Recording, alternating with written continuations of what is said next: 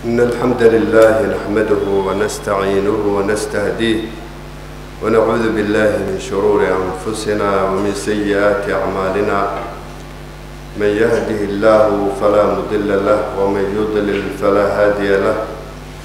وأشهد أن لا إله إلا الله وحده لا شريك له. وأشهد أن محمدا عبده ورسوله.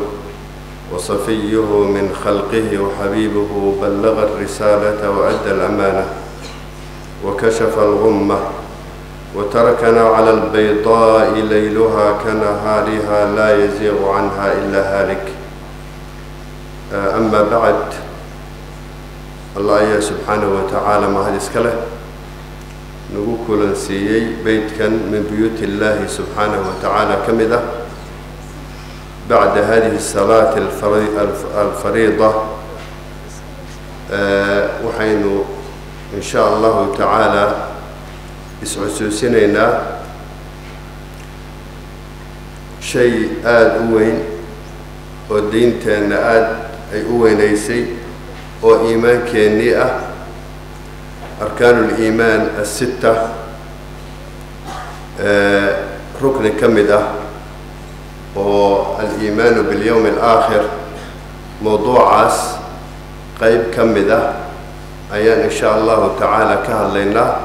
waxaad ogsoon tihiin yacni alimaan bilyowm alaakhir waa mowduuc aada u baaxad weyn. habeen iyo laba habeen toonana aan lagu soo koobi karin. marka sidaa daraaddeed mowduuceennu in sha allahu tacaala wuxuu ku saabsan yahay ashraadu alkubraa wa ahwaalu yowmi alqiyaama calaamadaha saacadda ee waaweyn gaar ahaan maxaa yeelay calaamadaha saacaddu ay leedahay lafteeda aad bay u tara badan yihiin kuwa waxaa jira yar yar oo fara badan oo wakti hore soo bilowday iyo waxaa jira kuwo calaamadihii waaweynaa ah oo al-ashraaq alkubraa loo yaqaano ama calaamaad asaaca alkubraa calaamadaha saacadda ee waaweyn markii kuwaasi aan ka baxno in sha allahu tacaala waxaynu ka hadli doonaa ahwaalu yowmi alqiyaama maalinta qiyaamo argagaxa ka jira wixii ku soo arooray oo maaragtay waktigu noo saamaxo ayaan iyadana wax ka sheegi doonaa insha allahu tacaala haddii aan ka horeeyo marka hore ashraadu asaacati alkubraa ashraad sida aynu maaragtay haddaba tilmaanay waxaa loola jeedaa calaamad calaamadaha ayaa loola jeedaa sida ku soo aroortay xadiidka maaragtay imaam nasaa-i uu warinayo asalkiisana saxiixeynka ku sugan oo xadiidkii jibriil calayhi salaam markuu nabiga sala allahu calayhi wasalam uu u imaaday isagii asxaabtiisa oo meel fadhiya waa kii jibriil calayhi salaam weydiiyey nabiga sala allahu calayhi wasalam saacadda qiyaamo goortay dhacayso ee uu yidhi mal mas'uulu canha biaclama min asaa'il midka la weydiinayo kama ogo midka wax weydiinaya. Marka riwaayada imaam nasaa-i waxa ay maaragtay ku daraysaa waxa ay ku daraysaa wuxuu leeyahay mal mas'uulu canha biaclama min asaa'il walaakin laha calaamaatun tucraf waxay leedahay calaamooyin saacadda qiyaamo lagu garanayo amaa saacadda waa waktiga qiyaamadu ay dhacayso qof kastoo muslimana waa garanaya. Marka haddaba waxaa loola jeedaa marka ashraadu saaca waxaa loola jeedaa calaamaadka ka horreeya qiyaamada inta ayna dhicin calaamooyinka lagu garanayo in qiyaamadii ay dhowdahay oo saacaddii qiyaamo inay dhowdahay calaamadaha lagu garanayo kuwaas ayaan oola jeednaa. Kuwaasina kuwa yaryaroo waxaa fara badan baa jiray oo wakti hore soo bilowday oo ka bilaabmay oy ka mid tahay nebiga sala allahu calayh wasalam bictadiisii soo diriddii nabiga la soo diray sala allahu calayh wasalam calaamad oo tusinaysa yacni saacaddii qiyaamo inay dhowdahay ayay ahayd buciftu ana wasaaca ka haatayn. Waxaa la soo bixiyey aniga iyo saacadda qiyaame sidan oo kale. In yar baan kala horeynaa ayuu ku tilmaamay. Innaga hadda waa nala badan tahay oo kun iyo afar boqol oo sano. Wax badan bay nala tahay laakiin cind allahi waxba kama ah. Waxaa ka mid ahaa dhimashada nebiga sala allahu alayh wasalam waxaa ka mid ahaa maaragtay fatxu beyt اlmaqdis iyo qustantiniya furideeda iyo waxyaalo fara badan.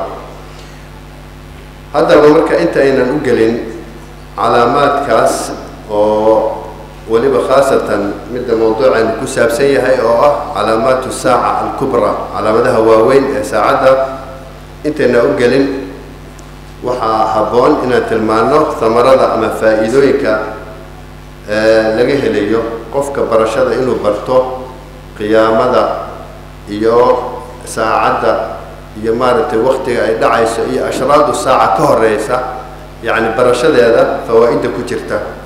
Faa'iidada koowaad waxaa lagu tilmaamay inay tahay taxqiiqu rukni min arkaani aliimaani sitta. Rukni arkaantii iimaanka lixda ahayd ka mid ah ayaa la taxqiijinayaa oo ah aliimaanu bilyowmi alaakhir maxaa yeelay ashraadu saaca waa muqadimaadkii hordhaci saacadda waay. Sidoo kaleeto waxaa meeshaasi ku jira aliimaanu bilgeyb geybka oo oo la rumeeyo. Allah subxaanahu wa tacaala waxa uu mu'miniinta ku ammaanay aladiina yu'minuuna bilgeyb inay yihiin. Kuwa rumeeyaan geybka wuxuu leeyahay nebigu sala allahu calayh wasalam umirtu an uqaatila annaasa xataa yashhaduu an laa ilaaha ila allah wayu'minuu bi wa bima ji'tu bih wuxuu leeyahay nebigu sal alla ly slam waxaa lay faray dadka inaan la dagaalamo ilaa ay ka qiraan kelimatu tawxiid oy ka rumeeyaan iga rumeeyaan aniga iyo wixii aan la imid marka qeybkii uu nabiga sala allahu calayh wasalam ka warramay in la rumeeyo ayaa meeshaasi ku jirta marka sidaa daraaddeed qofka muslimka ah inuu barto waxyaalihii maaragtay uu nebigu sala allahu alay slam ka sheegay qeybka muhimaddaas ayay leedahay waxaa kaloo muhimaddeeda ka mid a ama faa'iidadeeda ka mid a qofka bini aadamka ah ilaahay waxa uu ku abuuray inuu jecel yahay wax inuu ogaado.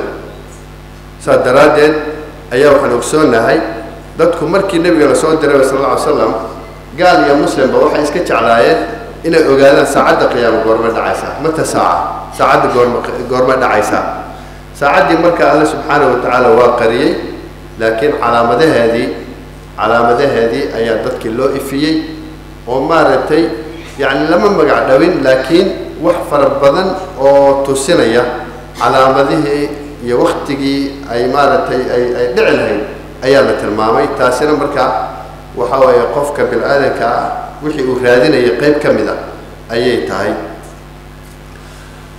Faa'iidada kale waxaa ku jirta arrimahan uu nebigu sal ly slam ka warramay oo ashraadu saaca ah ama calaamadaha saacadda waxaa ku jira oo laga faa'iidaysanayaa dalaa-il nubuwa nabinimada nebiga sala allahu calayh wasalam inuu nebi yahay waxyaalaha tusinaya ayay ka mid tahay. Maxaa yeelay waxyaalihii uu ka warramay nebigu sala allahu calayh wasalam kuwii yaryaraa calaamadihii yaraay oo dhan intoodii badan ama in badan oo ka mida way dhaceen waana la arkay oo waa loo soo joogay.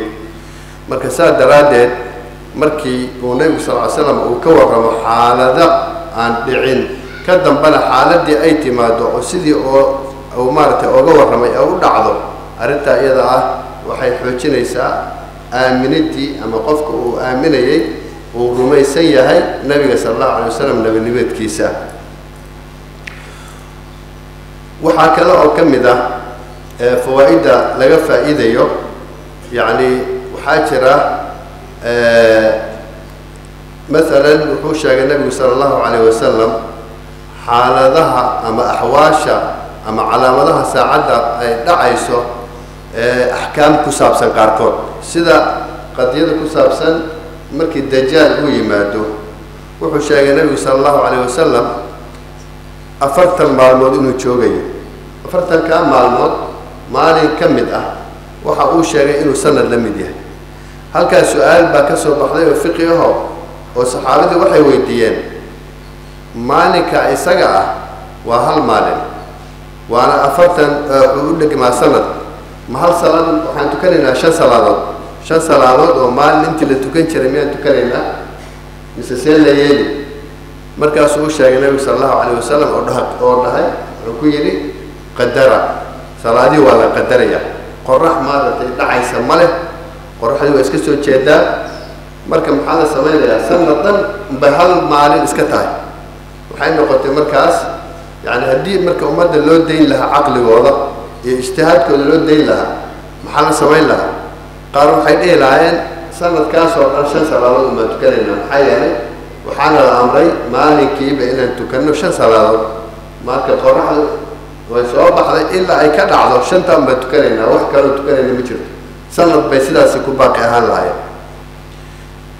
Qaarna waxaa laga yaabaa inay ijtihaadi lahaayeen idan laakiin yani looma daynin ra'yigooda ee waxa uu alle subxaanahu watacaala ku irshaadiyey oo nabigu sal l slam u sheegay yani siday samayn lahaayeen oo in la qadaro ah waktigii la qiyaaso loo qiyaaso oo wixii salaadii subax iyo duhur intay udhexayn jirtay ka dambe duhur la tukado ka dambe casar waktigii udhexayn jiray saasoo kale lagu socdo waxaa kaloo ka mid ah fawaa-iddaas waxaa ka mid ah amal iyo rajogelin la gelinayo mu'miniinta maxaa yeelay xaalado uu ka warramay nebiga sala allahu calayh wasalam oo iman doonaan oo ummadda nasrigeedu iyo tamkiinkeedu ku jiro ayaa jira. Taa iyadana ka warankeedu waxaa ku jira yacni maaragtay dhiirigelin mu'miniinta la dhiirigelinayo. Ayib xikmadda marka maxay tahay? Loo soo hormariyey ashraadu saaca oo calaamadaha saacadda loo soo hormariyey. Arrintaa iyada ah culimmadu waxay dhaheen sida xaafid ibnu xajar raximah llah uu leeyahay wuxuu leeyahay waalxikmatu fi taqdiimi alashraadi iiqaadu lgaafiliin dadka gaafiliinta a lagu baraarujinayaa waxahihim cala atawbati walisticdaad waxyaalaha maaragtay calaamaatu saaca loo soo hormariyey oo ishaaraadkaasi saacadda intayna dhicin dadka loo loogu sheegayo oo loo tusayo xikmadda ku jirta waxay tahay ummaddii inay toobad keenaan. Waxaan ku bilaaba haddaba inta haddaan ka gudubno ashraadu saaca kubraa maxay tahay? Maxaa ka mid ah? Waxaa ka mid ah dabcan horta intayna guda gelin ha u qaadanina in ay sida aan u sheegayno ay u kala horeeyaan laazim ma aha. Waa jiraan kuwo kala horreeya oo nusuustu ay tilmaamayso laakiin dhammaantood nusuustu ma wada tilmaamin sida ay iskugu xixigaan saas daraaddeed culammadu way ku ijtihaadeenoo qaarba sibay u arkeen inay u kala hordhici karaan. Qaarna naskaa la caddeeyey oo sheegay sida ay maaragtay u kala dhacayaan. Marka haddaynu ku bilowno calaamaadka tobanka ah ee nebigu sala allahu calayh wasalam uu sheegay ee ugu waaweyn waxaa ka mid ah addukhaan. Qiiq baa ka mid ah waa midda uu tilmaamayo alla subxaanahu wa tacaala biqowlihi faاrtaqib yowma taأti الsamaءu bidukhaani mubiin yaksha الnaasa hada cadaabun aliim marka qiiq baa iman doona samadii ayaa maaragtay qiiq ayaa ka imanaya dhulkiibuu imanayaa dadkii oo dhan buu saameynayaa gaal iyo muslimba wuu saameynayaa laakiin saameyntiisa ayaa kala duwan. Qofka muslimka ah wuxuu ku noqonayaa sida hargab oo kale.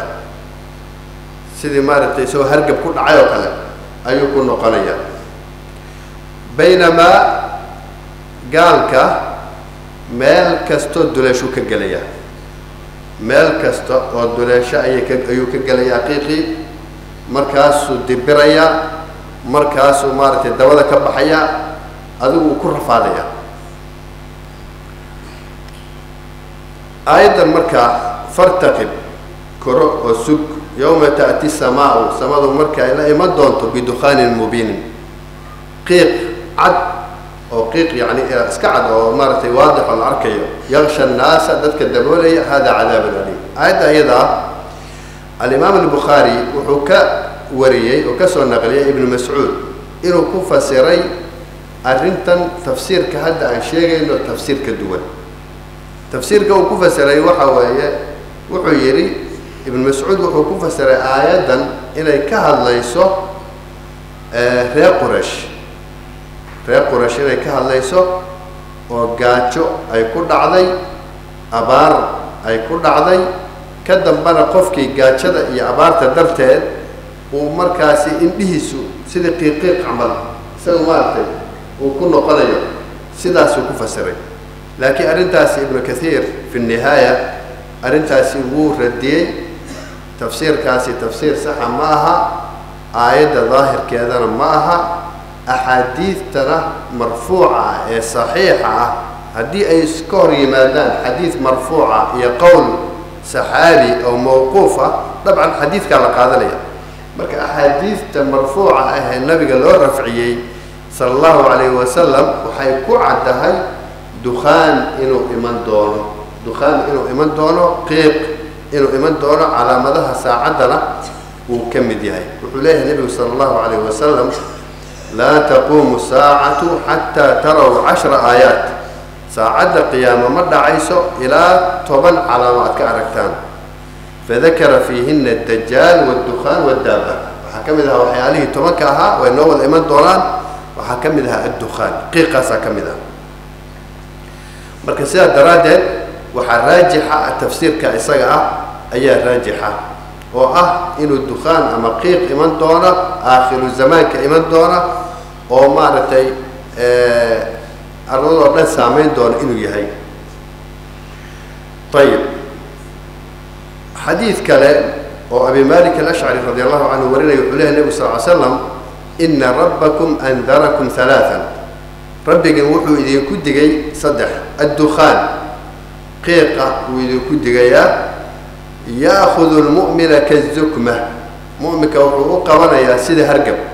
Wa ya'khudu lkaafira fayantafiqu markaasuu calooshiibaa maaragtay fuuraysa oo dibirayaa xataa yakhruja min kulli masmacin minhu wathaniya wathaaniyatu addaaba wathaalithatu addajaal taasi marka waxaa weeye waa calaamadaha tusinaya haddii la arko qiiqaas oo sidii adduunka caadi u ahaa samadii ay qiiq keento waa calaamad tusinaysa saacaddii qiyaamo ina dhowdahay calaamada kale waa fitnatu dajaal fitnada dajaal fitnada iyada ah waa fitno fitnada bini aadam ku dhacda midii ugu weyneyd weeye. Nebigu sala alla alay slam sida uu ku tilmaamay oo uu leeyahay maa bayna khalqi aadama ilaa qiyaami saaca.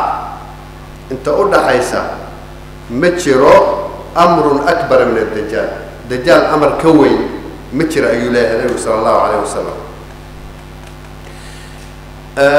dajaalow maxaa tahay marka? Dajaal muxuu yahay? Dabcan sifaadkiisa nabigaa noo sheegay sala allahu alay slam waana sheegi doonaa. Laakiin dajaal ma bini aadam ba mise waa shaydaan muxuu yahay? Culimmadu way isweydiiyeen. Culimmada in badan oo ka mida waxay ku tageen inuu yahay bini aadan yahay oo aabbiyo hooyo ay kala dhaleen. Qaarna waxay ku tageen inuu yahay shaydaan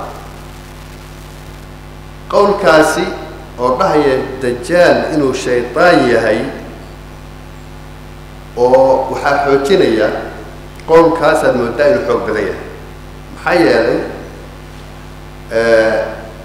xadiidkii jasaasada waxaa ku soo arooray tamiim iddaari xadiidkiisii waxaa ku soo arooray waktigii nebiga sala allahu calayh wasalam in uu ninkaasi ku xirnaa badda oo qoladan oo dhuntay oo doontoodii la dhuntay say u socdeen ay arkeen xayawaan ay kala garan waayeen hortiisa iyo dabadiisa oo jasaaso la yidhaahdo. Xayawaankii baa la hadlay. Markaasaa waxay ku yidhaahde wuxuu ku yidhi ninkan baa idin raba ee la hadla. Iyagii markaas tanna waxay u qaateen jin inay tahay kaana jin yahay. Maxaa yeelay wax yacni sidan u eg oo hortiisa gadaashiisa la kala garanayn xayawaan noocaana way ka saseen waa kii marka xadiidkaas yacni su'aalo ku weydiiyey oo adduunkii ka weydiiyey su'aalo oo maaragtay buxayratu tabariya iyo maxaan ku dhaha biyo ma leedahay iyo nabiga sala alla ly slam ma la soo bixiyey iyo waxyaala su'aalo noocaas oo kala weydiiyey. Marka haddii uu yahay bini aadan qudrada ilaahay dabcan allahu qaadir calaa kulli shay. Yani maaragtay ilaahay u awoodaa isagoo bani aadana badda inuu ku dhex xiro. Laakiin waxay dhaheen inuu yahay jin shaydaan yahay meesha lagu xiray yaa u dhow oo daahirka ay tusinaysaa nusuus kaleoo fara badanna way u daliishadeen. Qowlkaasi isaga ah markaa qowlka isaga ah waxaa kale oo sheekh ibnu cuthaymiin raximahullah xadiidka isaga ah maca anahu fi saxiixi muslim. Xadiidku saxiix muslim ku yaallaa xadiid uljasaasa waa xadiid saxiixa laakiin sheekh ibnu cuthaymiin xadiidkaasi wuxuu yihi agtayda sax maaha. Limaada? Maxaa yeelay wuxuu yidhi nebi sal l slama waa kii xadiidkana ku sheegay qof hadda nool oo boqol sano ka dambe noolaan doono inuusan jirin adduunka qof hadda nool adduunka jooga oo boqol sano ka dambe noolaan doona inuusan jirin. Marka ibnu cuthaymiin marka saas wuxuu leeyahay xadiidkan waa matnigiisu nakaara ku jirta munkar waa. Laakiin xadiidku waa xadiid saxiix ma la inkiri karo. Xadiidku waa xadiid saxiix muslim ku yaalla see yeeli. Saa daraaddeed qowlka dhahaya waxan inuu shaydaan yahay shaydaanka ogsoon tihiin alle subxaanahu wa tacaala wuxuu siiyey qudrata tashakul awood wuxuu u siiyey inuu isu ekeysiiye bini aadamka oo mararka qaarkood sidii bini aadam ahaan uu iska soo dhigo. Marka qowlkaasi ayaa raajixa waxyaalaha rajaxaya waxaa ka mid ah. Waxaad ogsoon tihiin fitnadiisa waxaa ka mid ah markii la soo bixiyo ee dadka uu fitnaynayo. Waxaa ka mid a qofku u imanaya wuxuu leeyahay hooyada iyo aabbaha haddii aan kuu soo bixiyo oo ay ii makhraati kacaan inaan ahay ilaahay may qiraysaa. Haabuu dhahaya qabrigoodii buu tegayaa. Labadii buu la hadlayaa soo baxuu dhahaya shakligii hooyadiis iyo aabbihiis laba shaydaan oo iska soo dhigeen baa fud soo dhahaya oo soo baxaya laba shaydaan hooyada iyo aabbahaad arki jirtay ood garanayso oo waxaa shaki kaaga tiri yaa meesha ka soo bixi qabrigay ka soo baxaya markaasa waxaa dhahay yaa bunaya rabbigaa waya aamin. Waa fitna weyn soo maa fitna cadiim. Aan caadi ahayn waa. Waxaa ka mid ah shayaadiinta inay la shaqaynayso. Sidoo kale walaalihii dadkaagiiba uu kuleehay itus waa lagu soo bixinaya markaasa iyagoo caadi ayaad arkaysaa waa shayaadiin. Saas daraaddeed qowlka dhahaya in uu ninka la yidhaahdo dajaal in uu yahay shaydaan yahay oo meesha ku xabisan yahay qowlkaas ayaa raajixa inkasta oo culamada badankood ay ku tageen inuu yahay bini aadam caadi ah laakiin qowlkaas ayaad moodaa inuu ka raajixsan yahay qowl qowlka kale. Marka fitnadiisu aad ba weyn tahay. Alle subxaana wa tacaala waxa uu siiyey waxyaalo khaariqulcaada ah oo caadada iyo si la arki jiray ka baxsan. Wuxuu imanayaa dad buu imanayaa. Markaasaa wuxuu leeyahay rumeeya. Hadday rumeeyaan cirkuu la hadlaya wuxuu leeyahay roob yahow soo daa jug roobkaa soo dig barwaaqo waata xoolihii way darari xoolihii baa ismaarka tarmi. Wax walba nicmay gelayaan kuwo kale u imanaya ay dhihi markaasay dhahayaan rabbiga nimantiid kadaab baa tahay maxaa ku dhaha calaamadii uu nebiga sal ly slama uu ku sheegay oo ah nebigu sal ly slam waan sheegi doonaa calaamadii uu ku sheegay bay ka arkaan oo sida acwar inuu yahay. Markaasay diidayaan. Markay diidaan wax allaala waxay haysteen oo dhan baaba ka dabageliba isagiiba. Iyaga eber xoolaba ma haystaan yacni waa fitno wixii aada quudanaysay haddii cuntadaadii iyo xoolahaadii isagii raacaan. Meel kharaw intuu yimaado dhaho arladii kunuustaada soo saar oo ay soo saarto. Haddii yaa ka haray marka ilaa man raxima rabuka qofka ilaah u naxariista moogiye khalqii wa daba yaacaya maxaa yeele ninkani awood buu ilaahay siiyey isagu wuxuu leeyahay ma aha laakiin ilaahay baa fitnadaas ka dhigay waktigaas inuu soo baxo adduunkana uu fitno ku noqdo ilaahay baa awooddaa siiyey. Nebigu sala allahu calayh wasalam saas daraaddeed wuu ka degay. Bal wuxuu sheegay wuxuu leeyahay inii la undirkumuuhu wamaa min nabiyin ilaa andarahu qawmahu. Nebi kasta waxaan idinka digayaa buri dajaal nebi kastana qowmkiisa wuu oga digi jiray. Kasoo bilow nebi nuux laqad andara nuuxun qawmahu. Nebi nuux goorma waa nebi nuux baa qoomkiisa oga digay. Ambiyadii ka dambaysay baa qoomkooda nin walba wuxuu lahaa nebi walba wuxuu lahaa. Iska jira dajaal markaasuu leh nebi sal slam walaakinii aqulu lakum fiihi qawla lam yaqulhu nabiyun liqowlih waxaanse idii sheegi qowl uusan nebi hortay qoomkiisa uusan u sheegin. Waa maxay? Qowmkaas qowlkaasi waa maxay? Taclamuuna anahu acwar wa ina allaha laysa biacwar. Waxaad ogaataan ninkani waa acwar il buu la'yahay axaadiidta marka ka hadashay indhihiisa qaar waxay tilmaameen isha midigta ah inuu acwar ka yahay. Qaarna waxay tilmaantay isha bidixda inuu acwar ka yahay. Axaadiidtii labadiiba waa saxiix. Culimmadii maxay jam waxay ku jamciyeen marka waxay dhaheen isha midigta ah ishiisa midigta ah waa mamsuuxa sida waxay la mid tahay cinab oo kaleeto xabad cinaba oo biyihii ka daateen oo kale ayay la mid tahay xadiidka qaar waxay tilmaamaysaa god ma aha meeshiis ishiisu god ma aha mana soo baxsano. Laakiin waxay la mid tahay sida cinab biyihii xoogaa isku yar dhalay oo maarata maxaan ku dhaha biyihii ka daateen ayaa u egta. Amaa isha kale bidixda ah iyadana ceeb bay qabtaa kor bay waxay ku qabtaa hilib bay ku qabtaa. Meesha kore iyay hilib ku qabtaa. Waxaa kaloo calaamadihiisa ka mid ah waxaa ku qoran bayna caynayhi labadiisa indhood dhexdooda kaaf iyo fa iyo ra kaafir baa ku qoran. Inuu gaal yahay kaafir oo qof kastoo mu'mina uu akrin karo ayaa ku qoran. Waa nin dhalinyaro ah oo xoog badan waana timo adag yahay timo badan buu leeyahay wuuna timo adag yahay. Waana nin aada u lafweyn oo aada u xoog badan waay. Ninkaa isagaa marka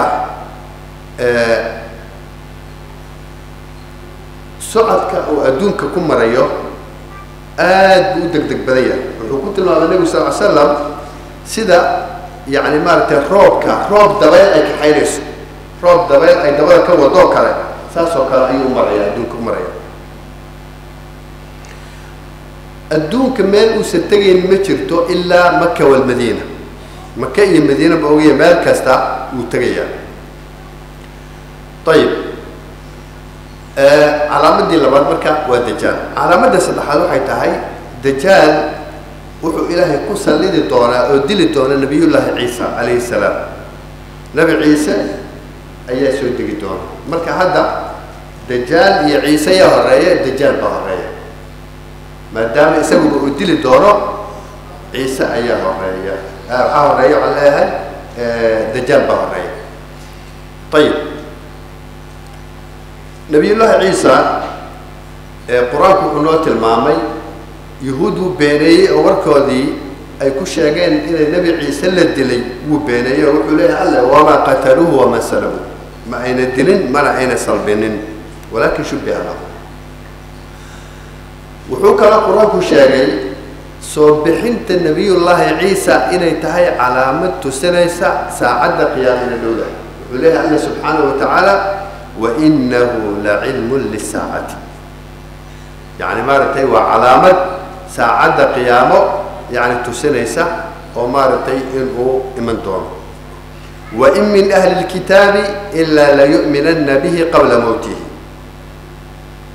wuxuu leha nebigu sala allahu alayh wasalam yanzilu ciisa ibnu maryam cinda almanaarati albayda sharqiya dimishk nabiy llaahi ciisa isaga oo malaa'igtu ay garbaha laba laba malag gacmihiisa intuu qabsaday garbaha haysta iyo wuxuu ka soo degi laba malag buu maaragtay labadiisa gacan buu saartay. Marka samaduu ka soo degayaa markaasuu wuxuu ku soo degayaa sharqiyu dimishaq meesha dimishaq la yidhaahdo suuriya caasimadeeda barigeeda cinda almanaarati albaydaa manaarada cad agteeda halkaasuu ku soo degaya. Halkaas ayuu ku soo degaya. Shaqada ugu horeysa uu qabanayo nabiyullaahi ciisa markuu saa u soo dego waa in uu raadsado dajaal ninka la yidhaahdo dajaal buu raadsanayaa dajaal markaa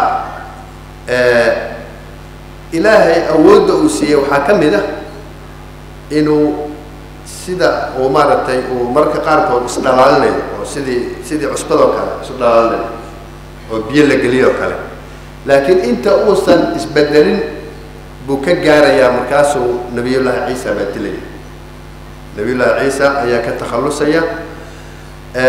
Waxaa kale oo maaragtay hawlaha uu nabiyullaahi ciisa wuxuu joogi doonaa adduunka sida xadiidka uu tusanaya abi hurayra afartan sano ayuu joogayaa. Afartan sano ayuu dunida markaas ayuu joogayaa oo mu'miniinta la jiraya dabcan mahdiga oo sheegi doona isagana ayuu maaragtay wada joogayaa oo uu maaragtay markuu imanayaba mahdiga oo joogo oo mu'miniinta imaam u ah ayuu soo bixi doonaa. Markaas ayuu maaragtay la dhihi doonaa hormar oo adiga salaada la tuji markaasuu ilaahay maya idinku na tujiya. Marka afartan sano ayuu joogi doonaa. Waxyaalaha marka uu qaban doono waxaa ka mid ah cadaalad inuu keeno xugun caadil ah inuu keeno saliibka saliibka bahalkan karooska oo gaalada inuu jebiyo doofaarka inuu laayo jizyadana inuu dejiyo macnaha jizyo ila sharcigeena wuxuu qabaa ahlu kitaabka hadday dowladda muslimiinta ku hoos noolaadaan oo ay aqbalaan inay ku hoos noolaadaan waxaa la leeyahay jizye iska bixiya. Jizye hadday bixinayaan marka waa la ogolyahay iyagoo gaalnimadooda iska wata inay ku noolaadaan. Laakiin waktiga nabiyullaahi ciisa ma aqbali doono. Wax la yidhaahdo jizye ma aqbali doono. Nacam waa marka uu leeyahay nebigu sala allahu alayh wasalam wayadacu ljizyata jizyada ayuu markaasi uu dejinayaa marka tanna hadduusan nebigu sala allahu alayh wasalam noo sii sheegin yani nebi ciise sida xadiidka qaar ay tilmaamayso wuxuu ku xukumi dadka sharciga islaamka halkanna waxaa la sheegay jizyada inuu dejin doono laakiin nebigaa sii sheegay sala allahu alayh wasalam wuxuu leeyahy nebigu sala allahu alayh wasalam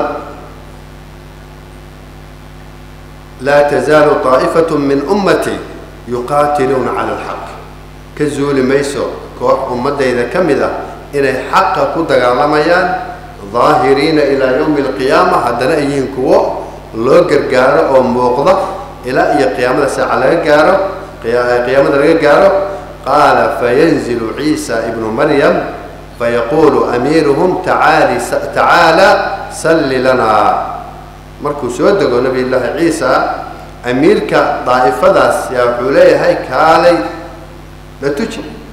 Markaasuu ilaahay maya ina bacdakum calaa bacdin umaraa takrimat allahi hadihi lumma. Qaarkiin baa qaarka kale amiir u ah waa karaamaynta oo alle subxaanahu wa tacaala ummaddan uu karaameeyey inta uu nabiyullaahi ciisa markaa joogo marka hadda waxaan sheegnay dajaal inuu horeeyo ka dambe ciise uu maaragtay uu ku xigo. Ka dambe ciisa calayhi salaam afartankaa sane ee uu joogo dhexdeeda yaa allah subxaanahu wa tacaala wuxuu u sheegi doonaa inuu soo diri doono addoommo kuwiis ah oo wax iska celin kara jirin ee ummaddan mu'miniinta ah meel kula carabal meel maaragtay gooni ah geed ummaddaasi waa maxay? Waajuuj wamaajuuj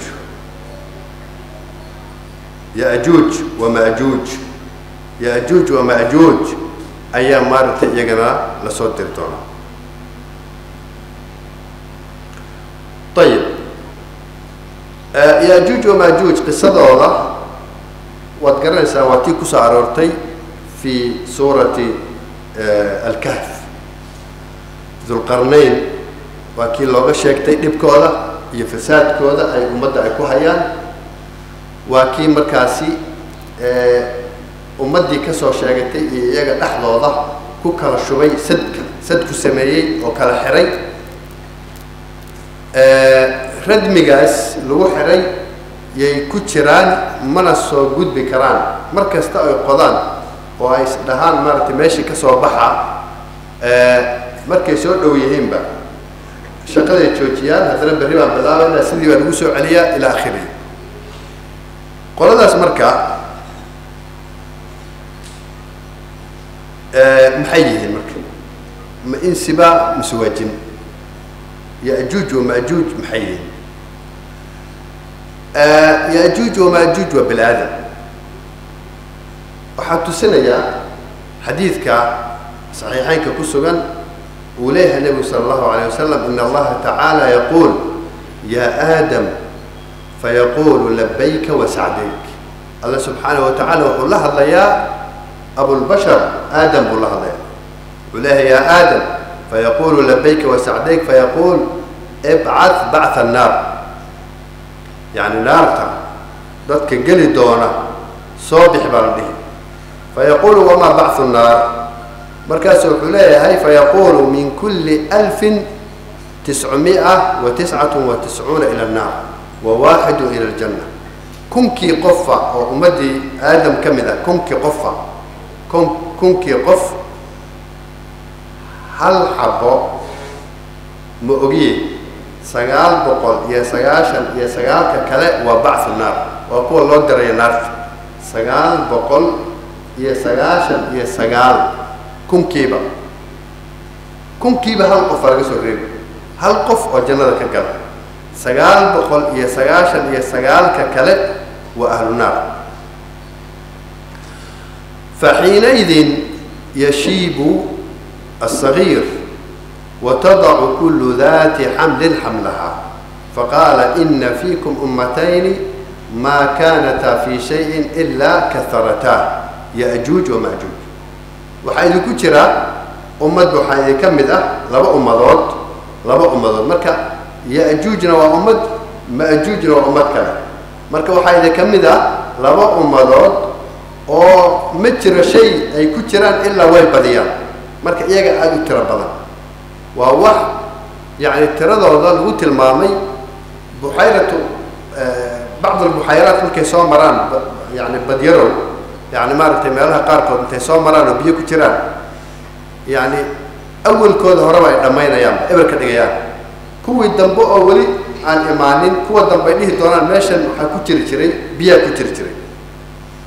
Ummad saa u fara badan oo marka fasahaad fara badan samaynaya oo adduunka fasahaadini ayaa markaasi nabiyullaahi ciisa waktigiisa ayaa la soo diraya. Isagii marka iyo mu'miniintii waxay waxay u cararayaan meel bay oga cararayaan oo buurahaasay ka aadayaan. Wuxuu leeyahay allah subxaanahu wa tacaala wuxuu leeyahay inii qad akhrajtu cibaada lii laa yudaanu liaxadi biqitaalihim yani qof iska celin kara aan jirin. Faxaris cibaadii ila duur duurka yani maaragtay geed jabal duur xaggaasi maaragtay oola carab markay sidaa dhacdo dhib badan baa marka soo gaaray mu'miniintii nabi ciise la jireen. Baahi fara badan baa imanaysa.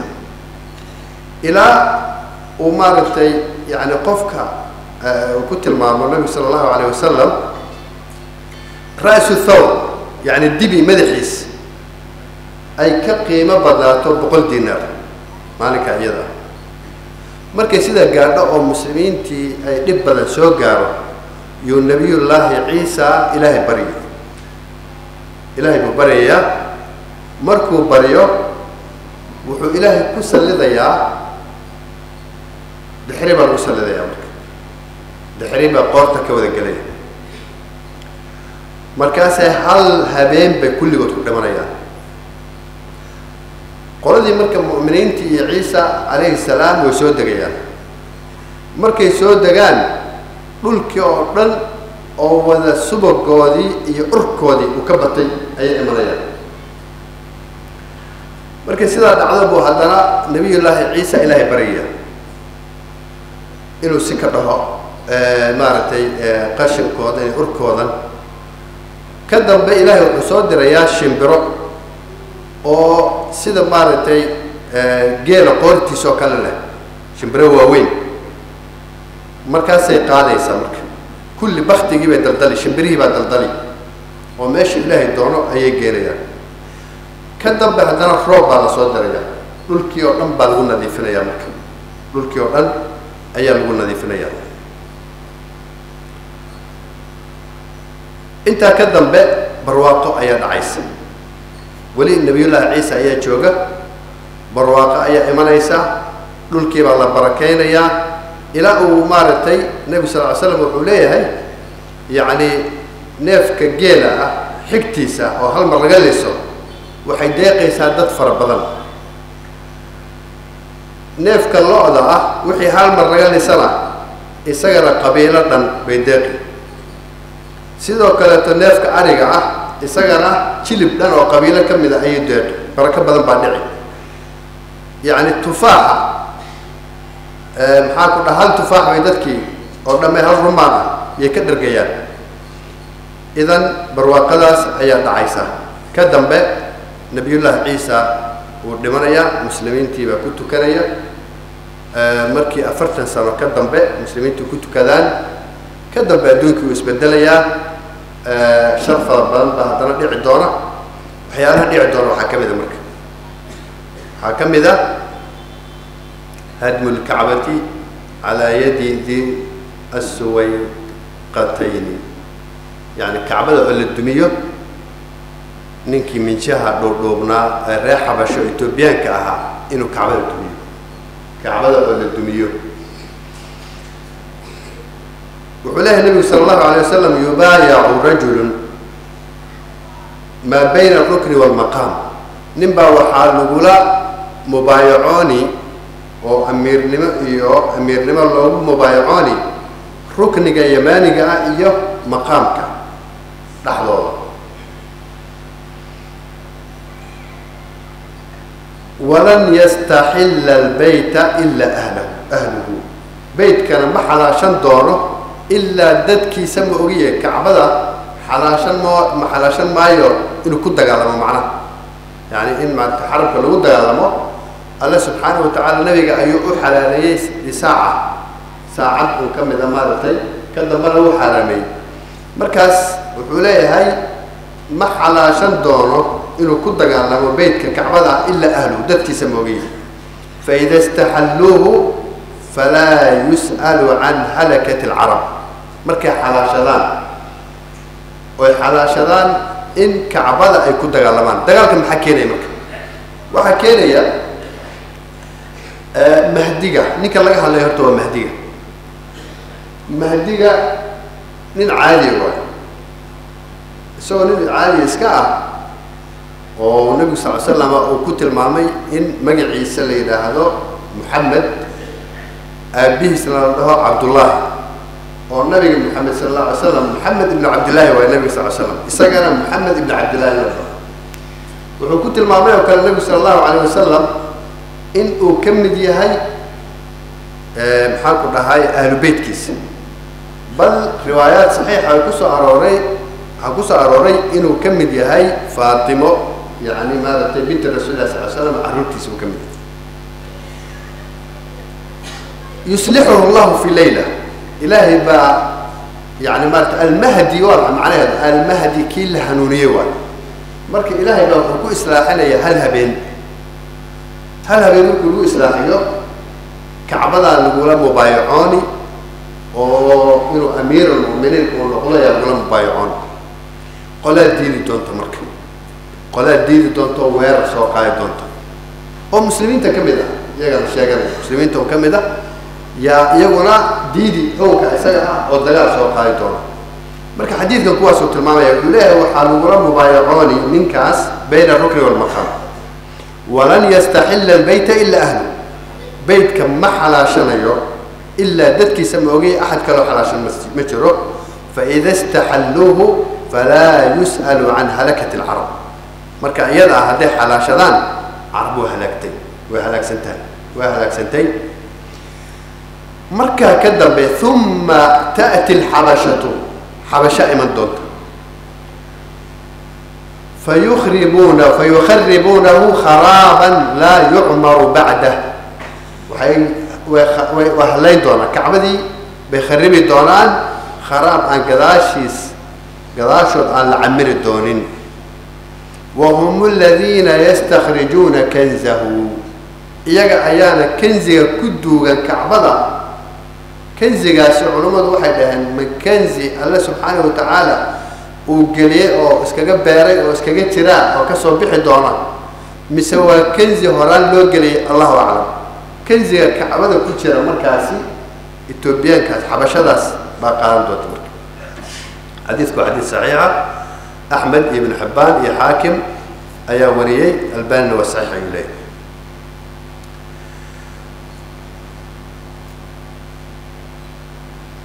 ayib waxaa marka ninkaasi kacbada oo la dumiyo waxay ka mid tahay ashraada ama calaamaadka saacadda qiyaamo inay dhowdahay tusinay ayay ka mid tahay. Waxaa ka mid a oo kale khuruuju daaba daabadda oo soo baxda. Waa midda uu alle subxaana wa tacaala ku tilmaamay waidaa waqaca calayhim alqowl akhrajnaa lahum daabata min alardi tukallimuhum ana annaasa kanuu biaayaatina laa yuuqinuun daabadda iyadaa waa xayawaan noocuu yahay iyo suu u yaalle iyo allahu aclam xayawaankaas markuu soo baxo wakti horta ummaddu fasahaday bay soo bixi doontaa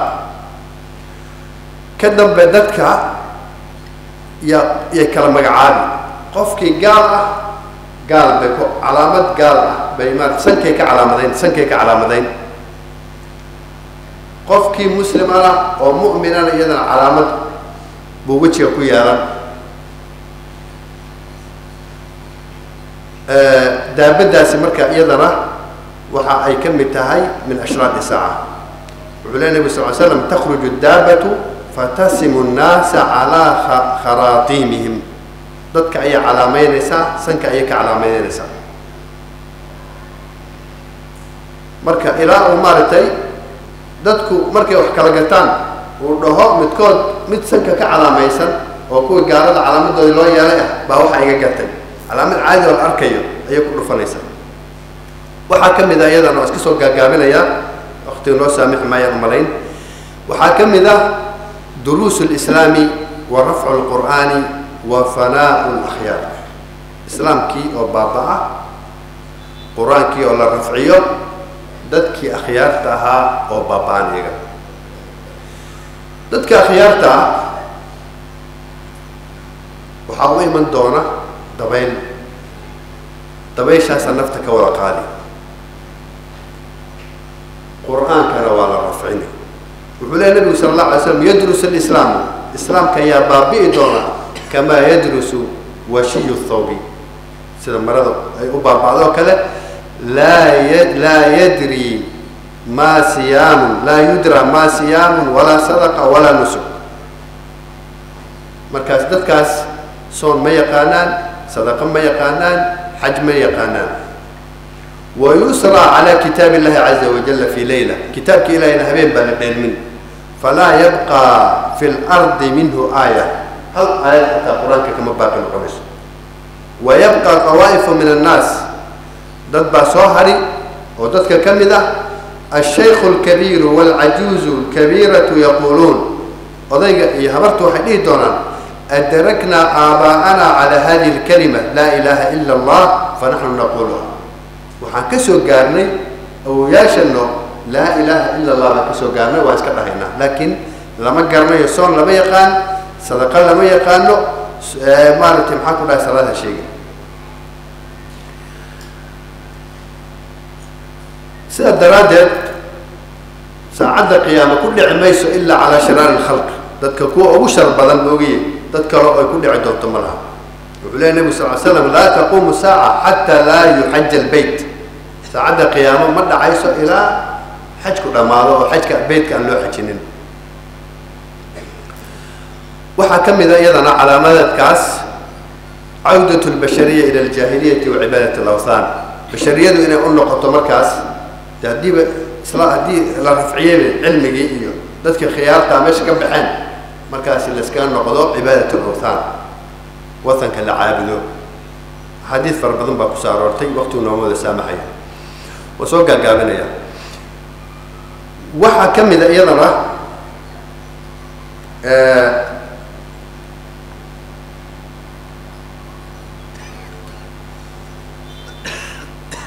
waxaa ka mid ah alkhusuuf halaaa saddex jeer oo dhulka uu la go-o yacni maaragtay uu ka go-o saddex meelood. Wuxuu leeya nebigu sala allahu alay wasalam laa taquumu saaca. Saacadda qiyaamo ma dhacayso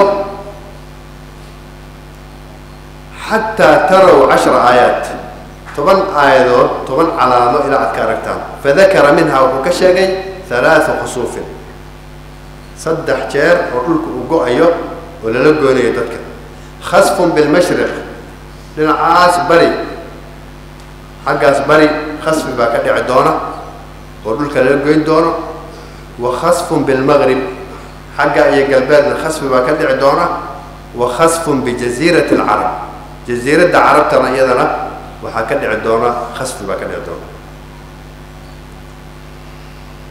waxaa ka mid a iyadana ashraatu saaca waxaa ka mid a duluucu shamsi min maqribiha qoraxda oo ka soo baxda dhinaca kale. Dhinacay u dhacaysay ay ka soo baxdo.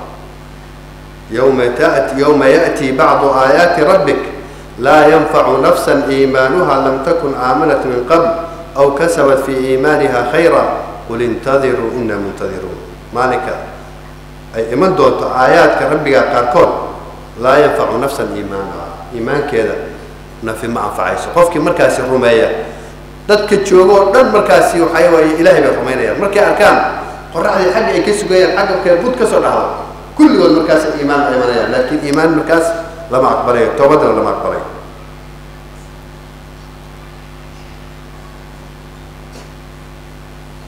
wuxuu leeya nebigu sala allahu alayh wasalam laa taquumu saaca xataa tadluca ashamsu min maqribiha saacadda qiyaamo ma dhacayso ilaa qoraxdu ay xagga maqrib ka soo baxdo faidaa طalacat fara'aaha annaasu aamanuu ajmacuun markay qoraxdu xagga ka soo baxdo oy dadkii arkaan dhammaantood way rumaynayaan fadalika xiina laa yanfacu nafsa iimaanuha lam takun aamanat min qablu aw kasabat fi iimaaniha khayra wuxuu leehay kaasi waa waqtiga nafi iimaankeedu uusan anfacaynin ayib waxaa ka mid a iyadana calaamadahaas oo ashraad lkubra waxaa ka mid a iyadana ashraad saaca alkubra annaaru alati taxshuru nnaas naar dab ama naar dheh dab waa isku mid une yani maaragtay naartaas oo ka soo bixi doonta xadramowt ama dhinaca xadramowt riwaayaadka qaar waxay tilmaamayaan cadalu abyan. Abyan dhinacaas cadan iyo abyan aduu dhinacaas ka soo baxaysa. Dadka marka naartaasi markay soo baxdo dadka way ka cararayaan. Way daba soconi. Way daba soconi. Maalinkii o dhan bay daba socon. Habeenkii markii la gaaro qofkii isagu soco waaya yani maaragtay oo gaadiid waaya ama wuxuu ku socda waaya ila wuxuu tilmaamay nebigu sal slam wuxuu leeyahay yuxsharu nnaasu calaa alaati daraa'iq saddex qaybood bay dadku noqonayaan. Raahibiin. Raahibiin waihnaani calaa baciir waalaaa calaa baciir waarbacatu calaa baciir wacashara calaa baciir. Nacam wayuxsharu baqiyatuhum wayaxshuru baqiyatuhum naar annaar marka taqiilu macahum xayu qaal. Meeshay kolba way daba soconaysaa. Meeshay habeenkugu galo wa tabiitu macahum xayu baatu. Meeshay maaragtay ay ku degaan way ka istaagi markaasi haddana daba soconi. Markay waa beriistaan haddana way daba soconi. Ilaa ay iskugu keento ay iskugu keento dhulka sham sham meesha la yidhaahdo la iskugu keeno marka naas annaaru alatii taxshuru nnaas xashrigan isaga ah. Xashrigan dadka la soo xashrinayo la isku keenayo oo la isku geenayo sham ma xashrigii caadiga ahaa ee maaragtay qiyaamadii kaas miyaa mise uu ka duwan yahay wuu ka duwan yahay kan hadda adduunkii baa la joogaa. Dadkii noolaa way way ku soo baxaysaa naarta. Marka markay iskugu geysa meeshaas meeshaasay qiyaamadii haddana yay saacaddii ku dhici doontaa ku dhiman doonaa meeshay ku dhimanayaan. Nacam xashriga isaga marka markii halkaa la iskugu keeno waxaa nidhi dadkii meeshaasay ku wada dhimanayaan.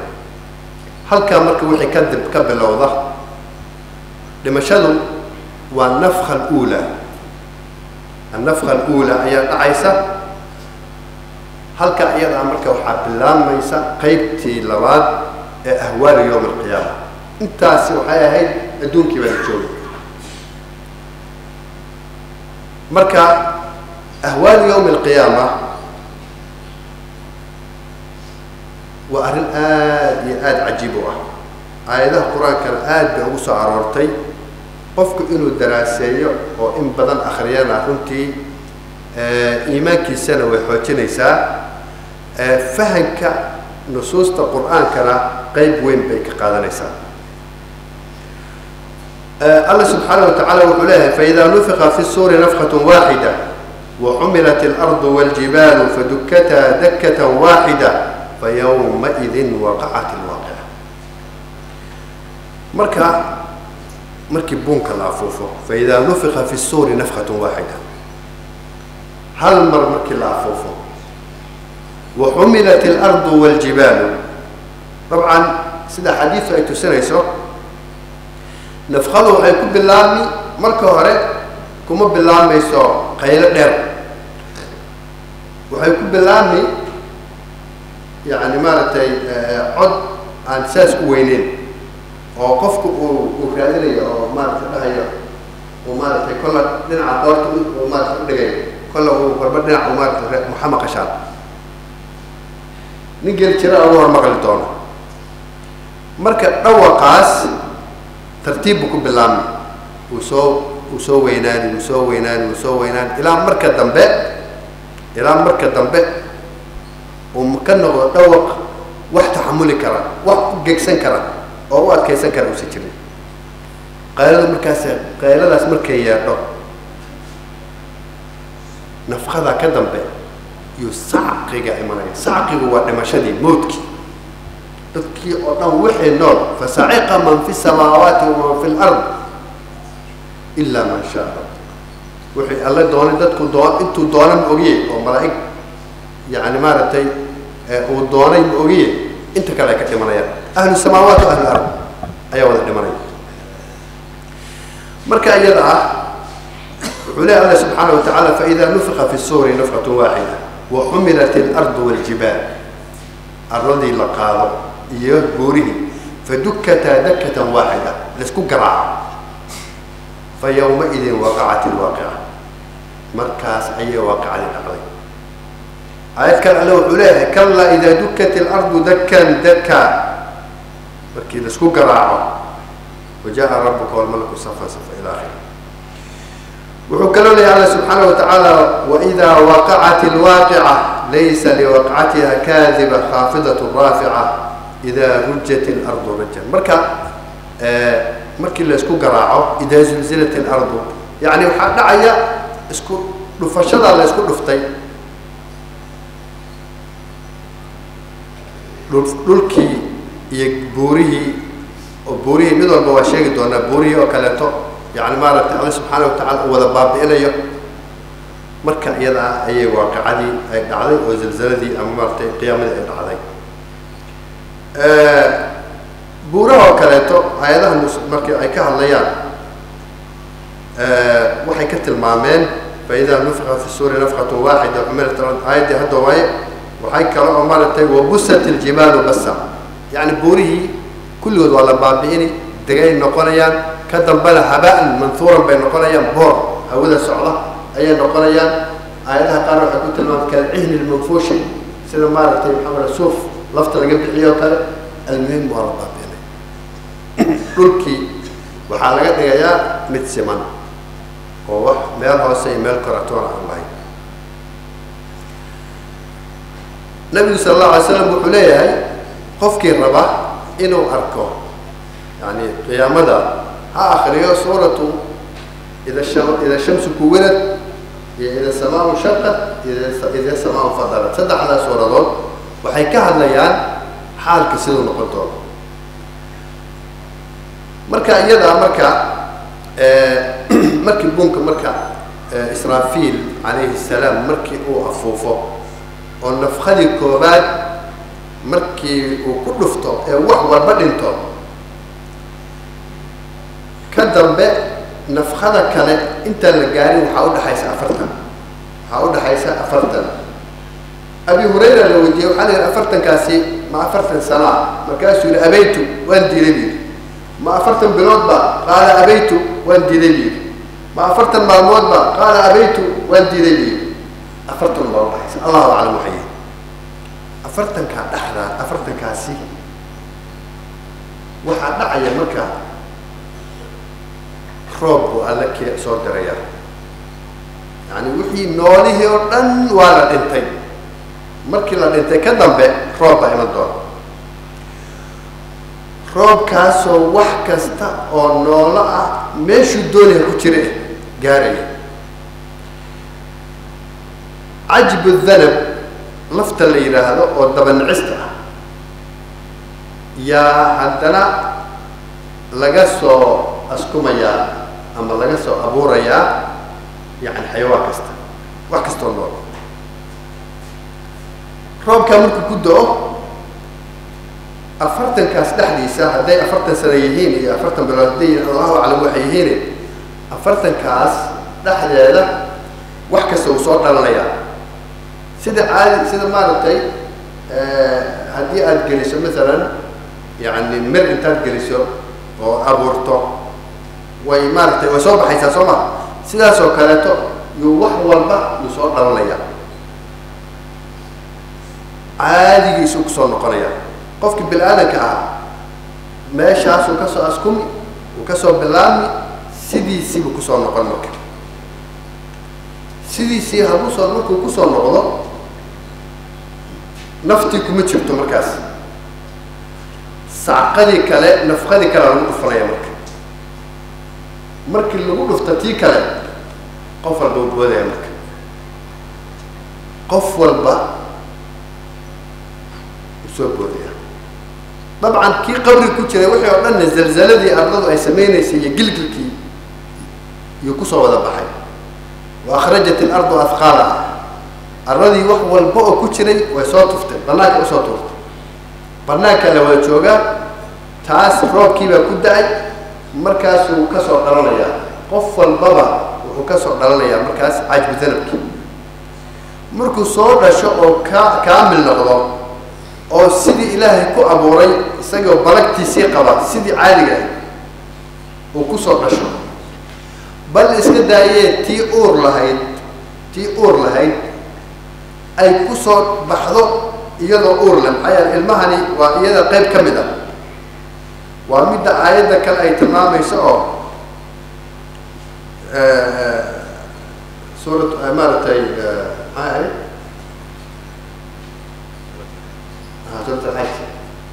ina zilzalata saacati shay cadiim. Yawma tarawnaha tadhalu kulu murdacati cama ardacat watadacu kulu dati xamlin xamlaha. Marka taa iyadaa ma aha yani maaragtay ma aha adduunka ma aha. Sida saxiixa. Bal waa bacda bacda dalika markii maaragtay maxaan ku dhahaayay la soo nooleeyaba marka waa la soo nooleynaya dadkii oo dhan baa soo noolaanaya. Macnaha ma aha qofku hadduu dhinto aakhara ruuxda bes inay tahay. Jismigii caadiga ahaa sidiisii balagtiisii iyo sidii ilaahay ku abuuray ku soo noqonaya.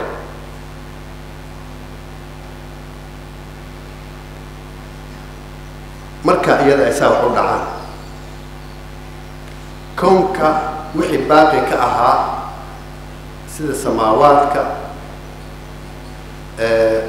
siday isu bedelayso qur'aanka aada looga warramay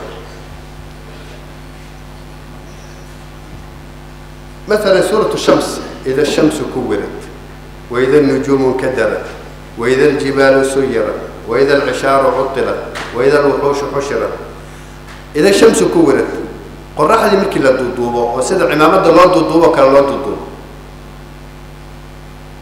ida shamsu kuwirad waida nujuumu nkadarat xidigihiina ay marka daataan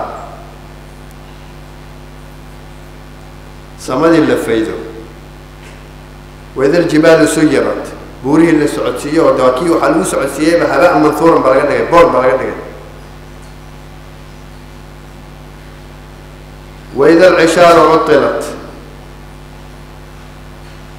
Markii la cadilo oo dan laga gelin iyo dan iyo muraadtoona laga gelin geelagta loogu jecel yahay oo oo markaasi yani maaragtay maxaan ku dhahaaye eh, xaamilka ah oo eh, maaragtay ilmihii markaa laga sugayo oo riman marka iyada haddii danba kaleba aakhira lagu jiraayo wax dan kale male xoolo waydan wuxuushu xushirat.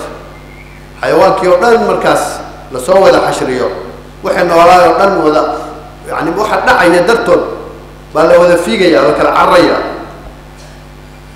Samadii way dildilaacaysaa marka hore waxaa waye horta yawma tamuru samaau mawran tadarib samadii intay wareegsato oy gilgilad ay maaragtay aada wareegto bay ka dambe haddana way dildilaacaysaa aayadaha qaar way ku tilmaamayaan inay samadii ay noqonayso yani wax daciif ah markay dildilaacdo haddana ay maaragtay bacd aayaat waxay ku tilmaamayaan ay dhalaalaysaba kalmuhli ay noqonayso maaragtay sida saliid oo kaleeto wax dureero ay noqonaysaa